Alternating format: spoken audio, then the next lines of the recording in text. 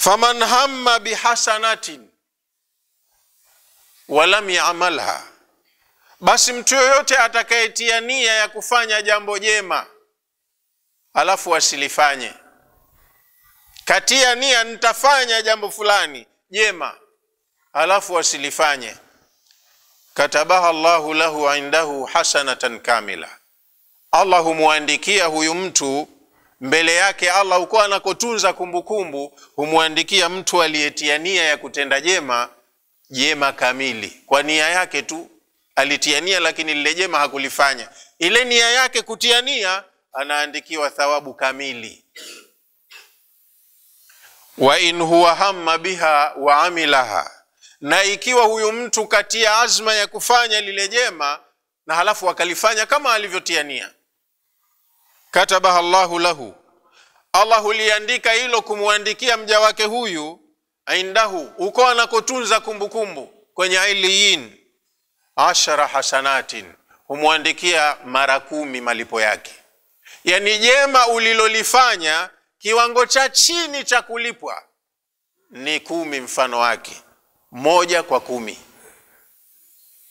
ila sabi miati dhaifin, lakini mwingine anaweza akaongezewa mpaka nyongeza ya mia saba, moja kwa mia saba ila adhafin kathiratin, wengine wanakiuka mia saba wanapata nyongeza ya zaidi ya mia saba kwa jambo moja alilonuia, halafu akalifanya. Inategemea hapa usahihi na uzuri, ubora wa kazi yake. Kama kwa viwango vya vitu vyetu materials tunazotengeneza, watu wanaangalia durability, wanaangalia stability, wanaangalia nini na nini na nini kitu kiwe na kiwango. Mpaka TBS wanaiweka thamani ya juu bidhaa fulani, na Allah naye bidhaa zake anazouziwa anaziangalia viwango vyake, halipi tu ovyo ovyo, alimradi kiwango cha chini cha kulipwa jema lililofanywa na mumin ni moja kwa kumi. Hii ni compulsory, moja kwa kumi. Wengine kwa ubora wa kazi yao ndo wanapata na hizo nyongeza nyingi mpaka mia saba mpaka zaidi ya mia saba katia nia nitafanya jambo fulani jema, alafu wakalifanya lile jambo. Kwenye ufanyaji tunatofautiana, tunaweza tukafanya sote humo amali moja, lakini tukapata malipo tofauti, ubora unatofautiana. waman hamma bisayiatin na mtu anayetia nia ya kufanya jambo ovu, walam yamalha, halafu asilifanye. Alitia nia nitafanya jambo fulani ovu, lakini. Halafu asilifanye lile jambo, katabaha llahu lahu indahu, humwandikia Allah mja wake huyu mbele yake Allah huko anakotunza kumbukumbu, hasanatan kamila, huandikiwa thawabu kamili kati ya nia ya kufanya jambo ovu halafu hakulifanya. Kitendo cha kuto kulifanya ovu, we unaandikiwa umefanya jambo jema sana. Ulikuwa ufanye ovu, hukulifanya, unaandikiwa jema moja. Fadhila ya Allah hiyo. Tumesoma haya iliyopita hapa, wallahu dhu fadlin ala nasi, Allah ni mwenye fadhila sana kwa watu. Ukitia nia ya kufanya ovu, kesho lazima nikamzini fulani alafu ukapotezea, unapata thawabu, maana lile jambo sio zuri. Kuliacha jambo ambalo si zuri, unapata thawabu. Hasanatan kamila. Wa in huwa hamma biha, lakini ikiwa huyu mtu katia nia yake afanye hilo ovu, waamilaha, na akalifanya kweli, katabaha llahu lahu indahu, humwandikia mja huyo Allah mbele yake anakotunza kumbukumbu jambo lake hilo ovu alilofanya sayiatan wahidatan, huandikiwa baya moja tu, yani baya halina nyongeza. Jema ndo moja kwa kumi, kiwango cha chini. Baya ni moja kwa moja tu, halina nyongeza. Mutafakun alaihi, Bukhari na Muslim wameipokea hiyo hadithi. Kwa hiyo adhafan kathira, kwa mfano wa hadithi hii inategemeana na ubora wa utendaji wa mtu. Tumeswali sala sote hapa la asiri, lakini swala yake hii mwingine kapata asilimia mia moja 100%. swala hii hii mwingine kaondoka na themanini na tano mwingine kaondoka na sabini mwingine kapata hamsini mwingine kapata ishirini na tano mwingine kapata ziro waliyadhu billahi min dhalik. Mefahamiana lakini sasa kwa mujibu wa hadithi basi ziro hamna maana ndo kafanya kashiriki sala, atapata kumi. Ndiyo eh? kwa hiyo nategemeana na ubora wa kazi ya mtu. Kwenye mema ni moja kwa kumi kwenye mabaya ni moja kwa moja. Na ndio maana wanawachuoni wakasema fabudan limarajaha ahaduhu asharatahu yuko mbali na ridhaa ya allah. Anastahiki laana ya allah. Mtu ambaye yale mamoja yake ndio yameyanyanyua makumi yake. Nafahamu huo msemo? Amufahamu? ana laana ya allah mtu ambaye mamoja yake yamekuwa ndo mazito yameyanyanyua makumi yake si mnajua siku ya kiama kuna mizani. Yaumaidhin yasduru nnasu ashtatan liyurau amalahum. Faman yamal mithqala dharatin khairan yarahu. Waman yamal mithqala dharatin sharran yarahu. Kuna mizani siku hiyo. Watu tutaenda kupangwa kwa vikundi vyenye sifa zinazofanana. Kwa mfano watu walikuwa hawa ni walaji wa riba umma zote zilizopita huko nyuma walifanya amali hii. Kwa hiyo watu wa kila mtume waliofanya hii amali hawa kesi yao inafanana. Si mnajua habari za mahakamani mnapelekewa watu mnaofanana shtaka si mnatengenezewa pia moja? Kwa hiyo ashtatan bimaana wale wala riba hebu wakusanyeni pamoja.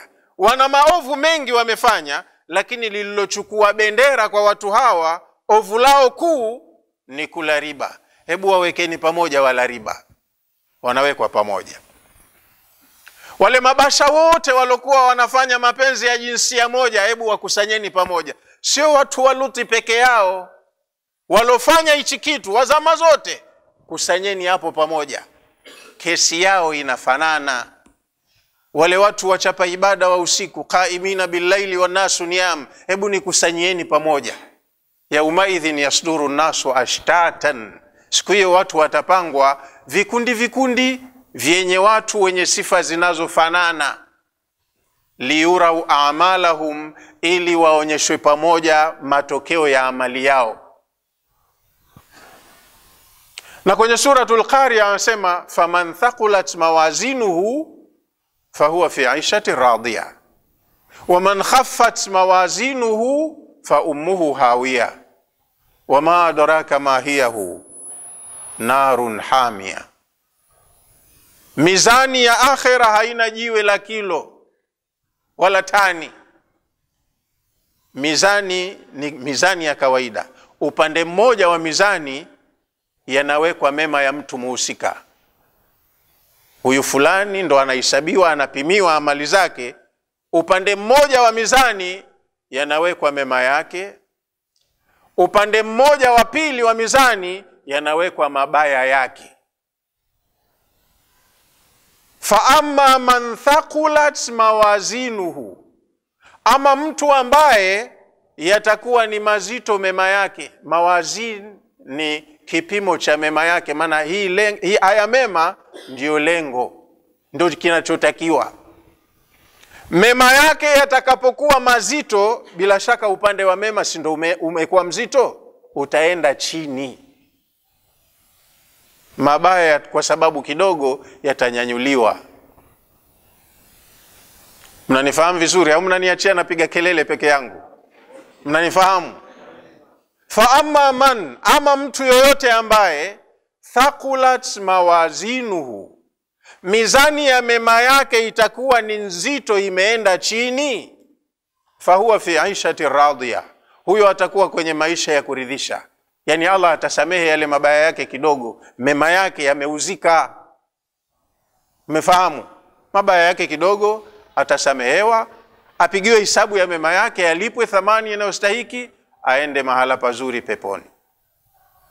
Wa amma man na ama yoyote ambaye khaffat mawazinuhu itakuwa ni hafifu nyepesi mizani ya mema yake. Kama ni nyepesi itakuwaje? Itakaa juu upande wa maovu ndo utakwenda chini. Sasa mema tunaambiwa malipo ya mema ni moja kwa kumi ndo kiwango cha chini. Malipo ya mabaya ni moja kwa moja tu hakuna nyongeza inakuwaje huku kusiko nyongeza ndo kuwe kuzito? Huku kwenye nyongeza yani moja kwa kumi ndo kuwe kwepesi? Huku moja kwa moja kuwe kuzito? Mmenifahamu sasa? Sasa wanawachuoni wakasema anastahiki laana ya allah. Mtu yeyote atakayekuja siku ya malipo maovu yake ni mengi kuliko mema yake. Kama mtu ana wastani wa kila siku kufanya mema matano na maovu matano. Si atakuwa ana thawabu hamsini na dhambi tano. Mnanifahamu? Make mema matano kiwango cha chini anacholipwa ni moja kwa kumi. Kila siku kama anafanya hivyo si mema lazima yatazidi. Lakini siku ya kiama anakuja mtu anapimiwa mema yake na mabaya mabaya ndo mazito yamezidi kwenye mizani. Mema kidogo huyu mtu muda wote alokaa duniani alikuwa anafanya nini? Huyu mzembe ina maana alikuwa hayo mema yeye ndo anayachukia. Mabaya ndo hobi yake. Muda wake wote aloishi kaishi kwa kufanya mabaya matupu. Ndo maana yamezidi kwenye mizani. Imeeleweka hiyo? Mmefahamu somo kwa hiyo huyu hastahiki kuonewa huruma. Na wakasema anastahiki laana ya allah. Mtu ambaye siku ya kupimiwa amali zake huku kunako moja moja ndo kulikokuwa kuzito kuliko kunako kumi kumi. Hizi kumi kumi yeye alizidisregard kakataa. Kafanya hizi moja moja muda wake wote alioishi. Kwa hiyo zilipopimwa hizi ndo zikawa zina uzito kwenye mizani kuliko huku. Kulia kumekwenda juu. Kushoto ndo kumekwenda chini. Kwa hiyo hastahiki huruma hata kidogo. Alikuwa ni mtu mbaya obviously. Kafanya sivyo. Huku kwenye mema kuna nyongeza. Lakini yeye ilikuwa huku kufanya mema ndo ugomvi wake. Hataki. Kakataa